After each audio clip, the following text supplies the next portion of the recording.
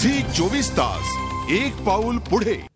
पुण्यातले देखावे पाहण्यासाठी मोठी गर्दी होते. झी चोवीस तासच्या प्रेक्षकांसाठी पुण्यातले निवडक देखावे आम्ही दाखवणार आहोत. बुधवार पेठेतल्या साईनाथ मंडळानं यावर्षी जिवंत देखावा सादर केलाय. स्त्री भ्रूण हत्या या विषयावर एकांकिका सादर करण्यात येते. त्यातून स्त्री भ्रूण हत्या रोखण्याचा संदेश देण्यात येतोय. बुधवार पेठेतीलच बाल विकास मंडळानं हलता देखावा सादर केला. व्यंकटेश बालाजी अवताराचा हा पौराणिक देखावा आहे. हलत्या मूर्ती आणि त्यासाठी करण्यात आलेली ध्वनी प्रकाश योजना यामुळे हा देखावा आकर्षक झालाय. त्यामुळे हा देखावा पाहण्यासाठी मोठी गर्दी होती. ग्राहक पेठेत बिस्किटाचा गणपती तयार करण्यात आलाय. तिथे रोजच्या वापरण्यातल्या वस्तूंपासून आकर्षक सजावट केली आहे. नातूबाग मित्रमंडळानं आकर्षक विद्युत रोषणाई केली विद्युत रोषणाईसाठी हे मंडळ प्रसिद्ध आहे. विद्युत रोषणाईच्या तालावर पावलं आपोआप ठिका धरतात. सदाशिव पेठेतल्या वंदे मातरम मित्रमंडळानंही आकर्षक विद्युत रोषणाई केली. टेक रोडवरच्या शिवांजली मित्रमंडळानं एलईडी दिव्यांपासून तयार केलेलं मंदिर सगळ्यांच्याच आकर्षणाचा विषय ठरलाय.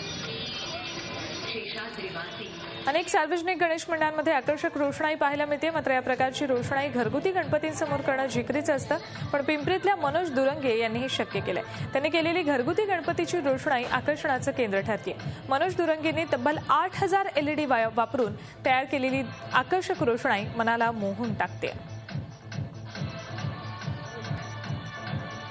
बदलत्या जीवनशैलीत शहरी भागातले लोक ग्रामीण जीवन विसरूनच चाललेत पण पिंपरीतल्या चंद्रकांत गुंडलेंनी गणेशोत्सवाच्या निमित्तानं ग्रामीण जीवन पुन्हा एकदा जिवंत केलंय.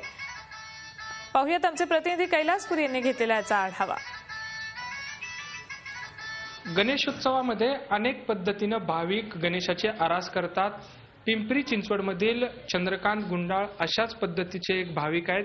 त्यांनी अतिशय कल्पकतेनं गणेशाची आरास केलेली आहे. आपण पाहू शकताय ग्रामीण भागाचं यथार्थ चित्रण त्यांनी या आरासामध्ये करण्याचा प्रयत्न केलेला आहे. आपण पाहू शकताय किती कल्पकतेनं त्यांनी ग्रामीण जीवन जे आहे ते या आरा- गणपतीची आरास करताना त्या ठिकाणी केलेलं आहे.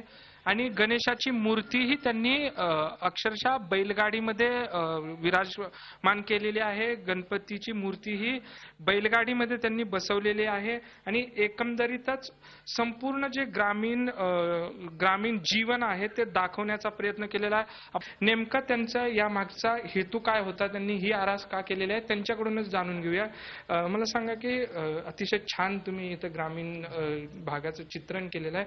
काय नेमका हेतू होता तुमचा? माझा हेतू हा की सध्या काँक्रीटच्या जंगलामध्ये गाव पण लोक विसरलेली आहे. मी ग्रामीण भागातनं आल्यामुळं मलाही ती ग्रामीण भागाची आवड आहे आणि आज माझे जे आजूबाजूचे जे रहिवासी किंवा जे नवीन पिढी त्यांना ग्रामीण भागाची माहिती होण्यासाठी मी हा एक इको फ्रेंडली गणपती सजावट करण्याचा प्रयत्न केलेला आहे.